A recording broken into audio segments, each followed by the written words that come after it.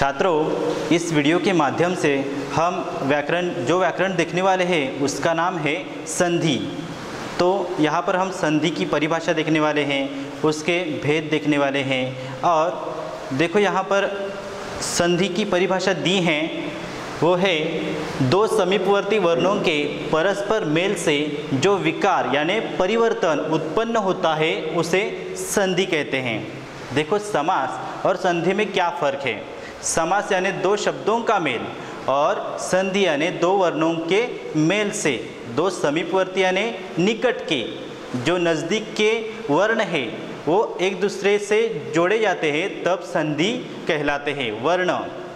तो वर्ण आपको पता है, वर्ण वर्ण में क्या होता है, स्वर और व्यंजन, यह वर्ण में आते हैं। तो यहाँ पर देखिए, एक उदाहरण दिया है, उस उदाहरण के द्वारा हम संधि किसे कहते हैं, वो समझाते हैं। देखो यहाँ पर विद्या धन अर्थी, शब्द क्या है? विद्या धन अर्थी। तो शब्द बनता है विद्यार्थी। यहाँ पर देखिए, विद्या, यहाँ पर द्या में कौन सा स्वर छिपा है? आकाश स्वर छिपा है, बराबर है। देखो यहाँ पर इस शब्द में जो स्वर छिपा है वो अ है। तो इन दोनों को यह दो स्वर एक दूसरे से मिलते हैं और शब्द बनता है विद्यार्थी। तो यह हुआ संधि, यह हुआ संधि विच्छेद। संधि विच्छेद अलग अलग लिखा है और यह जो शब्द बनता है वो क्या है? संधि। देखो इस दूसरे उदाहरण में देखिए, पुस्तक धन आलय, पुस्तक धन आलय। यहाँ इस क में अ का स्वर छिपा है और यहाँ पर आ है। तो दोनों मिलकर यहाँ की शब्द बना है पुस्तकालय। तो संधि क्या बनी? पुस्तकालय। तो पुस्तक धन आलय, यह क्या है? संधि विच्छेद कहलाता है। तो देखिए, संधि के तीन भेद होते हैं। कितने भेद होते हैं संधि के? तीन भेद होते हैं। पहला है स्वर संधि, दूसरा है व्यंजन संधि और तीसरा है विसर्ग संधि। ऐसे तीन भेद संधि के होते हैं। तो आज हम जो संधि के भेद देखने वाले हैं, उसमें स्वर संधि के बारे में देखने वाले हैं। तो चलिए तो चलिए देखते हैं स्वर संधि के भेद के बारे में भी। हमने देखा कि संधि के तीन भेद है, उसमें से स्वर संधि, दूसरा है व्यंजन संधि और तीसरा है विसर्ग संधि। तो हम अब स्वर संधि के बारे में जानकारी प्राप्त करेंगे। तो यहाँ पर देखिए उसकी परिभाषा। दो स्वरों के मिलने से होने वाले विकार को स्वर संधि कहते हैं। होने वाले विकार यानी परिवर्तन, दो स्वरों के मेल से। स्वर पता है आपको? ग्यारह स्वर हैं। तो इन दो स्वरों के मेल से जो विकार उत्पन्न होता है, जो परिवर्तन शब्दों में उत्पन्न होता है, उसे ही स्वर संधि कहा जाता है। तो स्वर संधि के भी पाँच भेद हैं। स्वर संधि के कितने भेद हैं? पाँच भेद हैं। तो यहाँ पर पहला भेद है दीर्घ संधि दूसरा है गुण संधि तीसरा है वृद्धि संधि चौथा है यण संधि और पांचवा है अयादि संधि तो हम इस वीडियो के द्वारा दो भेदों की जानकारी लेने वाले हैं। संधि स्वर संधि के दो भेदों की जानकारी लेने वाले हैं। एक है, पहली है दीर्घ संधि और दूसरा गुण संधि। इन, इसके बारे में जानकारी लेंगे। और जो बाकी बचे हुए बचे हुए संधि हैं, स्वर संधि के जो भेद है, वो हम अगले वीडियो में जानकारी प्राप्त कर देखो, यहाँ पर स्वर संधि का पहला भेद है, भेद जो है, वो है दीर्घ संधि। दीर्घ संधि मतलब बड़ा। दीर्घ का मतलब क्या है? बड़ा। तो यहाँ पर देखिए, यहाँ पर आ, ई और ऊ हैं। छोट, अ, ई और ऊ के साथ अगर दीर्घ दीर्घ स्वर आता है तो जो बनने वाला संधि जो बनेगी, वो इस तरह से बनेगी। आ का स्वर हो जाएगा, ई का स्वर हो जाएगा और ऊ का स्वर हो जाएगा। ये सभी दीर्घ स्वर हैं। ये क्या है? दीर्घ स्वर हैं। यहाँ पर कुछ उदाहरणों के द्वारा हम देखते हैं, भाव, धन, अर्थ। यहाँ पर शब्द ध्यानपूर्वक देखिए, भाव, धन, अर्थ। यहाँ पर जो अंतिम वर्ण है, वो क्या है? वह है। इसमें कौन सा स्वर छिपा है? अ का स्वर छिपा छिपा है। तो देखिए, इसमें अ का स्वर छिपा है और इससे, इसमें कौन सा स्वर है? अ का स्वर है। तो दोनों को मिलाकर क्या बनेगा? यहाँ भी अ है, यहाँ भी अ है। तो दोनों को मिलाकर क्या बनेगा? आ का स्वर बनेगा। क्या बनेगा? आका स्वर बनेगा। तो यहाँ पर शब्द बना है भावार्थ। शब्द बना है भावार्थ। देखो दूसरा उदाहरण है हिम, जोड़, आलय। हिम, धन, आलय। तो इसका क्या बनेगा? देखिए, हिमालय। बराबर है? हिमालय शब्द बनेगा। देखिए। हिमालय। क्योंकि यहाँ पर अ है, अ का स्वर है और यहाँ पर आ है तो दोनों के जोड़ से क्या बन, बनेगा? आ, दीर्घ स्वर ही बनेगा। यहाँ पर अ है और आ से मिला है तो दीर्घ स्वर कौन सा है? आ का है। आ ही यहाँ पर आएगा, हिमालय शब्द बनेगा। संधि बनी है हिमालय और संधि विच्छेद है हिम, धन, आलय। यहाँ पर देखिए महाधन आशय महाधन आशय यहाँ पर आ की स्वर है यहाँ पर आ स्वर है। तो दोनों को जोड़कर क्या बनेगा? महाशय। इस ह को आ स्वर लगेगा और शब्द बनेगा महाशय। गिरी धन ईश। यहाँ पर ई है यहाँ भी ई है। तो यह दोनों कौन सा यहाँ पर पहली आ, पहली ई यानी छोटी ई की ई का स्वर है, यहाँ पर बड़ा ई का स्वर है। तो दोनों को मिलाकर क्या बनेगा? बड़ा ई तो यहाँ पर शब्द बनेगा गिरीश। शब्द इस तरह से बनेगा, बड़ी ई की मात्रा यहाँ पर दी जाएगी तो शब्द बनेगा गिरीश। यहाँ पर देखो, मत, धन, अनुसार। तो यहाँ अ का स्वर है, यहाँ भी अ का स्वर है। तो शब्द बनेगा मतानुसार।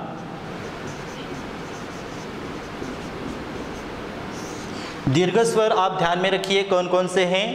आ ई और उ इसे ही दीर्घ संधि कहा जाएगा। यह अगर आ, ऐसे संधि बनती हैं ऐसे शब्द अगर बनते हैं तो वो कौन से होंगे? दीर्घ संधि के उदाहरण हैं। या देखो वधुत्सव इसमें दूसरे ऊ की मात्रा लगी है दूसरे दूसरा ऊ का स्वर छिपा है यहाँ पर ऊ है पहला छोटा ऊ है तो यहाँ पर शब्द बनेगा वधुत्सव देखिए, दया, धन, आनंद। आ, यहाँ भी आ है तो शब्द बनेगा दयानंद। यहाँ देखिए, परीक्षा, क्षा में आ का स्वर छिपा है, और यहाँ पे, अ है तो अ और आ मिलकर आ ही बनेगा परीक्षार्थी। शब्द बनेगा परीक्षार्थी।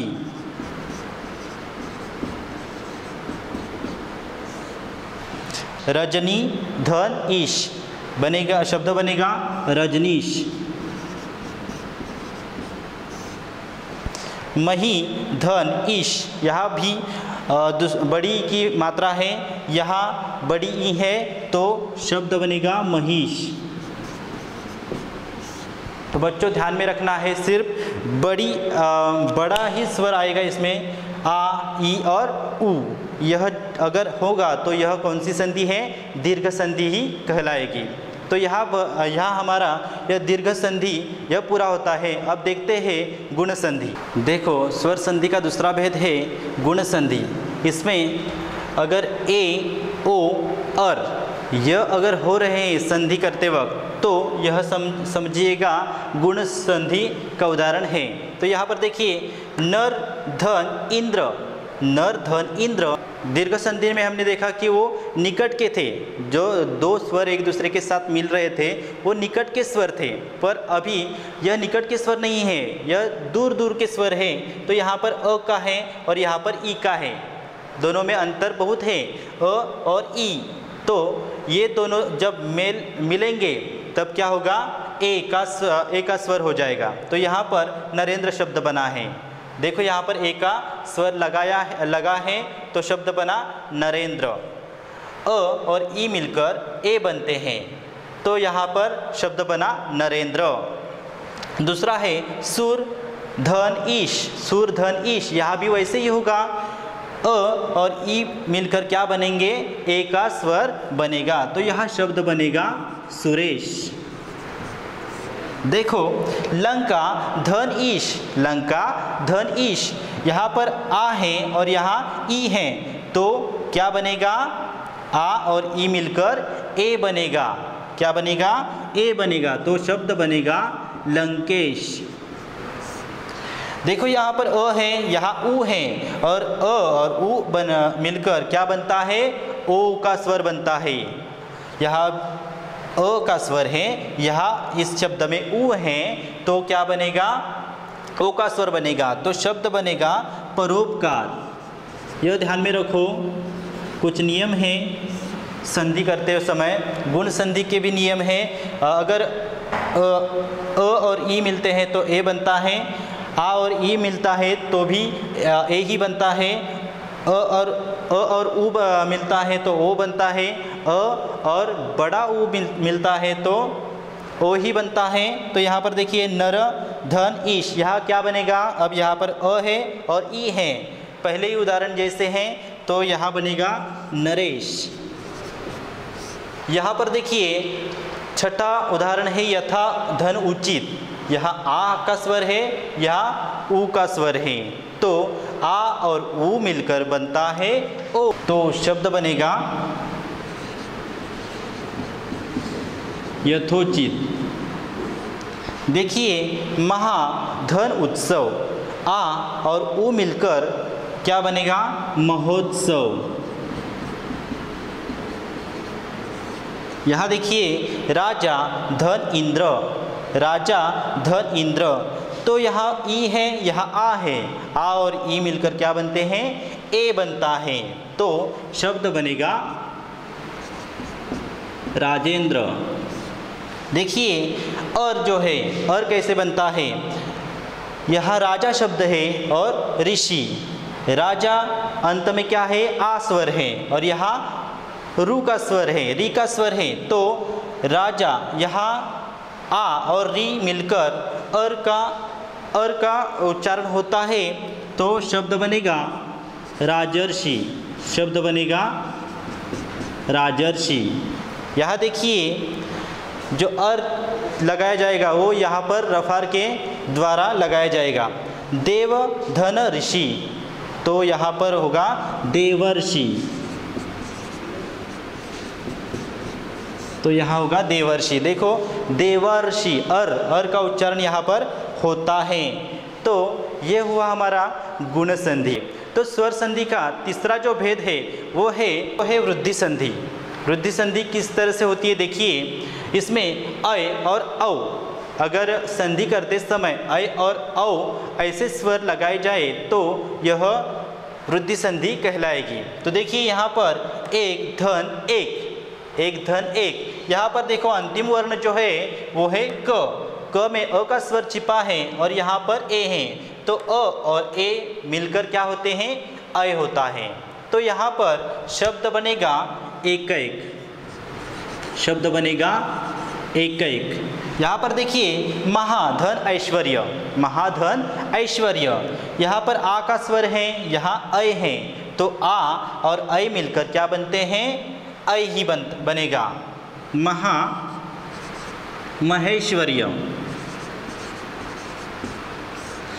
आ और अय मिलकर अय ही बनेगा, इसलिए यहाँ पर शब्द बनेगा महेश्वर्य। देखो, सदा एव, सदा धन एव। तो आ स्वर है, यहाँ ए है। तो ये दोनों मिलकर अय की मात्रा यहाँ पर लगेगी। शब्द बनेगा सदैव। ये ध्यान में रखिए। तथा धन एव, तथा धन एव, यहाँ आ स्वर है, यहाँ ए का स्वर है। तो शब्द बनेगा तथैव। ध्यान में रखिए, यहाँ अय है, यहाँ अय है अय है अय है, जहाँ जहाँ आपको ऐसे ऐसे शब्द नज़र आएँगे, वो क्या होंगे? वृद्धि संधि के उदाहरण होंगे। धन धन धन, ऐश्वर्य। धन ऐश्वर्य जोड़, ऐश्वर्य तो शब्द बनेगा धनैश्वर्य।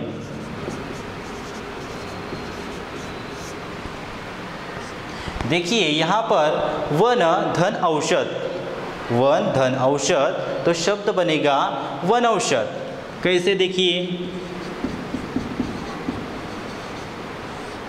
देखो, यहाँ पर अ का स्वर है और यहाँ औ का स्वर है। तो दोनों मिलकर क्या बनेंगे? बड़ा स्वर जो है, वही बनेगा औ। वन औषध, शब्द बनेगा वन औषध। महा धन औषध। यहाँ पर बड़ा स्वर कौन सा है? औ औ का है।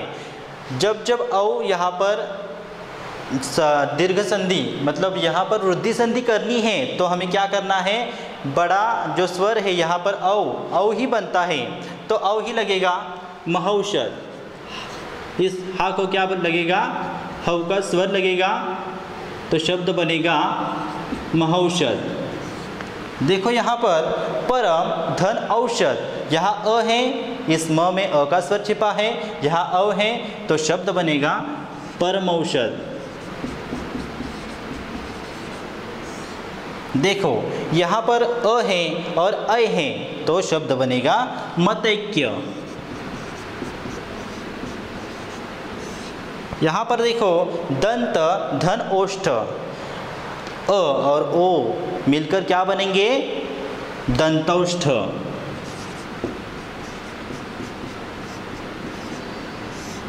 नियम देखिए क्या है?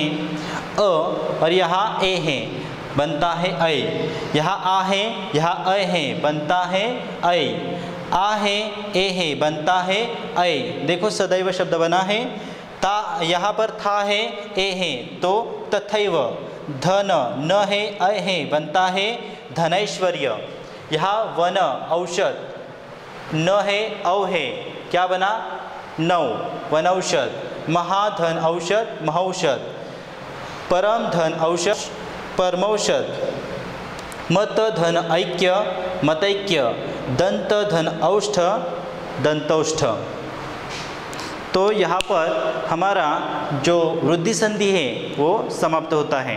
वृद्धि संधि में हमने देखा कि ऐ और औ का स्वर बनता है तो यहाँ पर यण संधि यण संधि में य, व और र ऐसे स्वर बनते हैं। देखिए, अति धन अधिक, अति धन अधिक, इससे इनके मेल से ती, यहाँ पर ई की, ई का स्वर है और यहाँ अ है। ई के स्वाद भिन्न स्वर है, अ का स्वर है। तो यहाँ बनेगा अत्यधिक, शब्द इस तरह से बनेगा अत्यधिक देखो। अत्यधिक ई और अ मिलकर क्या बनेगा? यहाँ पर य आएगा, य आया है और उसका त आधा हुआ है तो शब्द बना है अत्यधिक यहाँ देखिए, अति आचार, यहाँ ई है और यहाँ आ है, ई के साथ भिन्न स्वर है आ। आ यहाँ पर है तो शब्द बनेगा अत्याचार। प्रति एक। यहाँ ई यहाँ ई का स्वर है, यहाँ ए है। तो क्या बनेगा? प्रत्येक। शब्द बनेगा प्रत्येक। प्रति एक। प्रत्येक। यहाँ देखो, सु, धन, आगत। सु, धन, आगत। यहाँ ऊ का स्वर है, यहाँ आ है। तो बनेगा व। उ और आ जोड़कर बनते हैं व। तो यहाँ शब्द बनेगा स्वागत। देखो, ई अ मिला त, यहाँ पर य। ई आ मिला य। ई ए मिला, यहाँ पर य हुआ। तो यहाँ पर देखो उ और आ मिल रहा है। उ और आ मिल रहा है तो व बनता है। स्वागत, शब्द बना स्वागत। यहाँ अनु, धन, अय। अनु, धन, अय। शब्द बनेगा अन्वय। क्या शब्द बनेगा? अन्वय। यानी देखो, यहाँ उ है, यहाँ अ है। दोनों के मेल से शब्द बनता है अन्वय। व, उ और अ जोड़कर बनेगा व। और ये जो न है, वो आधा हो जाएगा। देखो यहाँ पर प्रतिधन उपकार। प्रतिधन उपकार से बनेगा प्रत्युपकार। नियम से इसको मिलाकर देखिए, प्रत्युपकार कैसे बना है? यहाँ ई है, यहाँ उ है। तो दोनों के मेल से त्य यहाँ पर य आया है और ये जो त है वो आधा बना है, प्रत्युपकार शब्द हुआ है। अनु धन एशन, अनुधन एशन, यहाँ उ है, यहाँ ए है तो क्या बनेगा? व, अन्वेषण। शब्द बनेगा अन्वेषण। देखिए, यहाँ मातृ, धन, आज्ञा। तो त्रु यहाँ पर री की मात्रा है, री की मात्रा और यहाँ आ स्वर है। तो बनेगा र। देखो, यहाँ पर मात्राज्ञा। यहाँ पर शब्द बनेगा मात्राज्ञा। यहाँ देखो, पितृ, धन, आज्ञा। पितृधन आज्ञा पित्राज्ञा। देखो यहाँ पर र का स्वर है, त, र त, र, त्र। तो यहाँ र का स्वर आता है, पितृ, धन, आज्ञा, पित्राज्ञा। मातृ, धन, आज्ञा, मात्राज्ञा। देखो सु, धन, अच्छ। सु, धन, अच्छ, यानी क्या होता है? स्वच्छ। देखिए, सु इसमें उ का स्वर है और यहाँ अ है तो शब्द बनेगा स्वच्छ। तो यहाँ पर हमारा यण संधि पूरा होता है। तो स्वर संधि का पांचवा भेद हम देखेंगे, जो है अयादि संधि। देखिए, यहाँ पर ए, धन, अ, मिलकर बना अय अय धन, अ, मिलकर आय बनता है। अय धन, ई, मिलकर आई बनता है। ओ, धन, अ, मिलकर औ बनता है। औ धन अ मिलकर आव बनता है। तो बहुत ही सादे तरीके से ये शब्द रहते हैं। देखिए, ने धन अ, क्या बनेगा? नयन नयन। ने धन, अन, नयन शब्द बनता है। या देखिए नय धन, अक। यहाँ पर क्या बना है? आय बना है। तो शब्द बनेगा नायक। शब्द क्या बनेगा? नायक। नय धन इका। नय धन इका, यहाँ पर आई है। आई शब्द बन रहा है। अय, धन ई मिलकर आई बनता है। तो यहाँ पर क्या बनेगा? नायिका। शब्द बनेगा नायिका।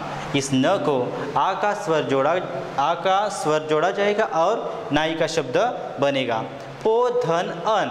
पो धन अन। यहाँ पर अव है तो यहाँ शब्द बनेगा पवन। पौ का क्या होगा? प होगा।